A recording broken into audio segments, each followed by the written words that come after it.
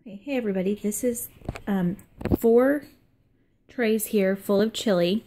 I used two of these ranch style beans and it's the 52 ounce and then one packet of the McCormick chili seasoning and it filled all four trays. I also put a little bit of ketchup, onion powder, garlic powder, salt and pepper. And then um, we're just going to freeze dry these four trays and I'll put a video up tomorrow or the next day when it's done.